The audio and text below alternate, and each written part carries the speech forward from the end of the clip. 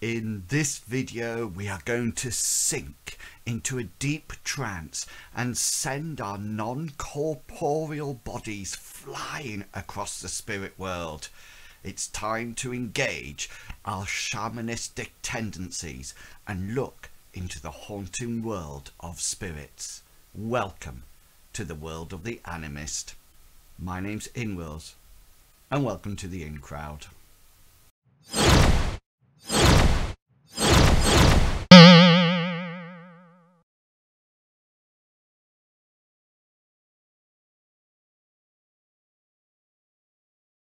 Hello and welcome to the long awaited final School of Magic rules video for Mythras. Yes, this is probably the School of Magic that I get requested the most to do a video on. And I must admit, and I'll be honest with you, I've been avoiding it for some time. Now, this is not because I don't like the school of animists, quite the opposite. If I was lucky enough to play Mythras instead of GMing it, then I would definitely play an animist. The reason I've been avoiding it for so long is that I don't actually, or we don't actually have an animist in our campaign, meaning that I don't have to engage with the rules or haven't at all. However, I knew that you were all waiting for this video so I decided to just get straight in there create my own animist and then try to work out the rules as I go along. Now, before I go into the video, I am sure that there are probably a huge amount of expert animists out there whose fingers are poised, itching, ready to type those keyboards saying that I've got everything wrong, etc, etc. So, in order to preempt this, please do tell me if I have things wrong and I can recreate the video or, or put sort of like edits into it at a later date. But if you are saying that I'm wrong, please could you give me the correct answer? Nothing to do with homebrew rules, please, just straight from the core rulebook. Okay then, shall we get on with it? Now, one of the things that I found while reading up about the Animist is that it's quite complex and there's several different areas um, that I can actually engage with. So I have a plan. This first video, I'm going to talk about the culture or the cult about animists and their major skills. Then I'm going to do another video about spirits. And then I'm going to do the final um, video about bringing everything together and how the animist can work in your campaign. So first up, what is an animist? Now, according to page 134 of the Core Rulebook, animis animism is a magic which is worked through communion with spirits and the spirit world. It is the magic of shaman and, shamans and spirit walkers. Their powers do not come from deities or old dusty tomes. They they actually come from the spirits that inhabit the spirit world and occasionally manifest into the mundane. So when I started to think more about animists, I had to almost like fit them into my existing campaign. I sometimes see a conflict between the world of the theist and that of the animist. Both have beliefs and even within religion, spirits actually exist. Theists allow passage of these spirits to life after death. Animists are sometimes seen as the more primitive version of the theist and the religion, especially since most characters come from a primitive culture. There is no option for the priest profession in the primitive culture at all. So it's more likely to be a, a shaman or if you're from the other side of a pond, the shaman. But Although priests do not exist in primitive cultures, um, according to the rulebook, shamans or shamans exist in all cultures. So before embarking on animus within your campaign, I think it's really important to have a clear understanding of how they fit into the campaign and the relationship, if any, with the other schools of magic. Now, for me, I see primitive cultures encouraging um, shamans as a religion, with everything within their culture having spirits, not only their ancestors, but plants, animals, even rocks and places. People from more cultured backgrounds have the option to go forward to the afterlife dictated by the religion, while animals, etc., remain as spirits on the spirit world, or just quite simply dissipate. Of course, there is a reason, there or there has to be a reason for a spirit to remain in the spirit world. Otherwise, the spirit world is just going to be completely packed, unless it's actually infinitely. Oh, it gets very mind blowing. Anyway, if they don't progress to an afterlife, then they will still be in the spirit world, unless the spirit world is the af afterlife. Now, if you want to just ignore everything I say and find out more information about animists and their cultures and cults, you can find those in the core rulebook starting at the bottom of page 131.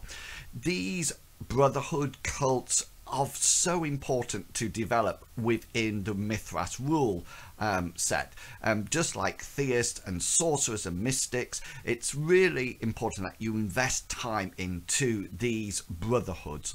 Remember there are no levels in Mythras, so progression through the brotherhoods, cults or whatever provides the animist or other spellcaster with access to different skills and possible um, different spirits.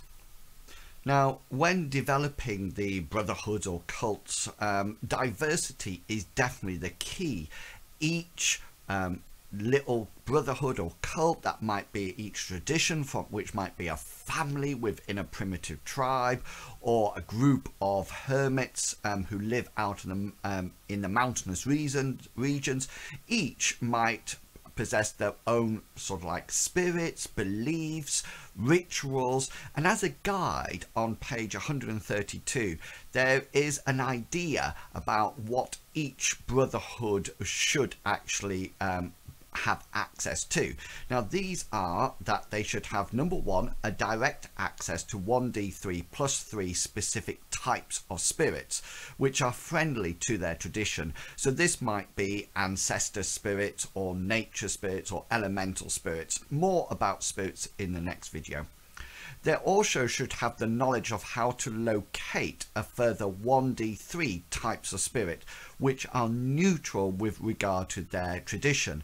So for example, if I were work, was working with a primitive culture who lived up in the mountains, then there might be um, the knowledge of how to locate um, airy spirits, spirits of air or spirits of um, raptors that float on the thermals, etc. And then finally, they should have at least one enemy or competing cult who has its own allied spirit and being treated as actively hostile towards the tradition. Now, I think this really allows for a huge amount of role playing and campaign development, you know, within the storyline. I think it would be really interesting how animists fit into cultures or campaigns where theists are the main sort of like worshippers. And I'd be really interested to know how you put animists into your campaign. So do add them in the comments below. So once you have identified how the animist will fit into your campaign, it's start it's time to look at their skills. But before we get talking about the skills which animists use, please consider liking, comment and subscribing to this channel. I produce regular videos about Mythras as well as actual playing sessions and personal blogs. I also produce videos about GMing, so why not subscribe and press that bell button so you get a notification when my next video goes live. Also, if you would like to provide some additional support, if you know what I mean, then the link to my Patreon account is in the comments below.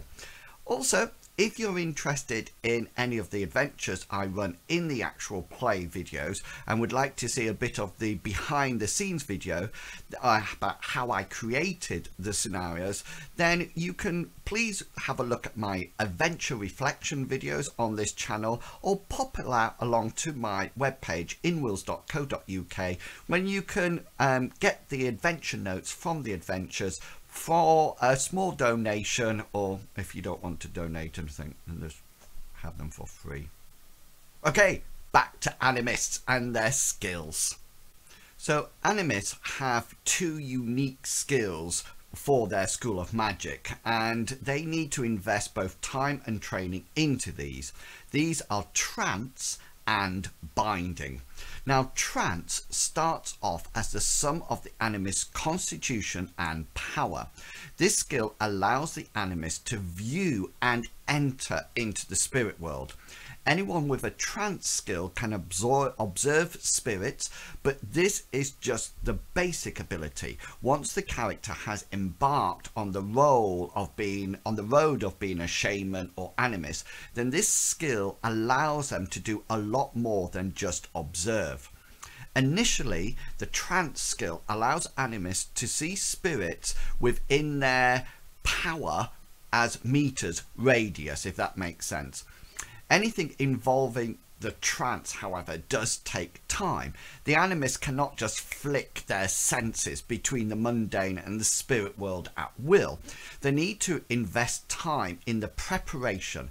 Now, there is a table on page 131 which provides all the time periods. As the animist achieves a higher rank within the brotherhood or cult, then the time needed to go into the trance becomes less.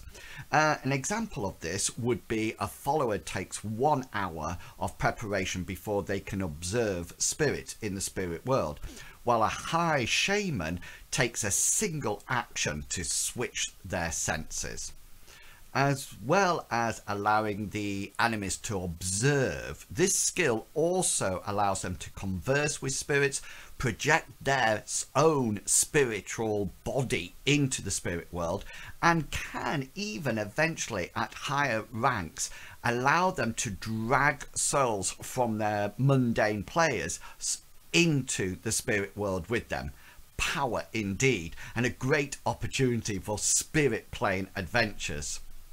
Okay, so the second skill that animists have is called binding. Now, binding starts off as the sum of the animist's power and charisma. This skill allows the animist to force or encourage a spirit to do the animist's bidding. This has a range of applications. The skill can bind spirits into fetishes, to places or creatures, persuade a spirit to perform a single deed or service, or to summon a known spirit to the animist's physical location. And finally, the binding skill is used to engage in spirit combat. More about this in the next video when we get into spirits. The largest spirit that an animist can bind um, cannot exceed three times the critical range of the binding skill. Now, the crit remember that the critical range is 10 range is 10% of a skill. So an animist who has a binding skill of 50%, they could only be in, uh, they could only control spirits up to 15 um, power. Now, the binding skill is also a combat skill, which is used in spirit combat, and it also dictates the amount of damage the animist can inflict. Now, there is a table on page 131 that shows the skill and the damage. And now, if you are not an animist, if you're not an animist at all um, with a binding skill, then mundanes have to use their willpower skill. And that's it for the first video about Animist. In the next video in this Animist series, I'll have to remember to say, to tell YouTube that this is a series. I'll have a look at spirits in general and then finally I'll link the two together to explain where Animists get their power from. So don't forget to press that subscribe button and bell so you get a notification when my next video goes live. And remember, if you're interested in playing Mythras or already play the game, don't forget that there is a monthly podcast on the rule set which you can find by searching any of your favourite podcasting apps or web pages. It's called Mythras Matters. As you can imagine, I'm the host, but there's a lot of interviews from other people, including the one of the game's designers, Lawrence Whitaker. All the other links to my social media and content are down below, so please do support the channel and myself by going and checking them out. Okay, so until next time, I hope all your opposed rolls are successful and reward you with a well-earned special. Happy Mythras, everyone. See ya.